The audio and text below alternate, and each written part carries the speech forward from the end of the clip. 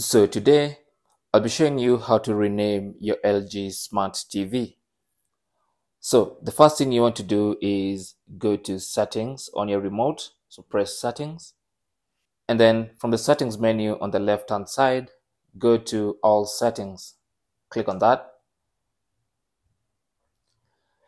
and then go to general, click on that and then under general go to devices click on that and then go to TV management and click on that.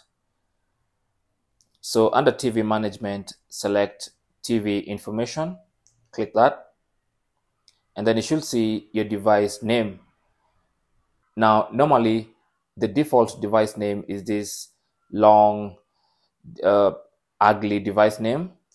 But if you click on that, you can actually edit by deleting and putting in your own name. So I'm going to call mine that and then hit enter. And as you can see, I have a new name for my LG Smart TV. Now this is a name that's going to be appearing in Bluetooth. It's going to be appearing when you're trying to use AirPlay. This is a new name for your LG Smart TV device. Thanks for watching. Leave your comments and questions down below and good luck.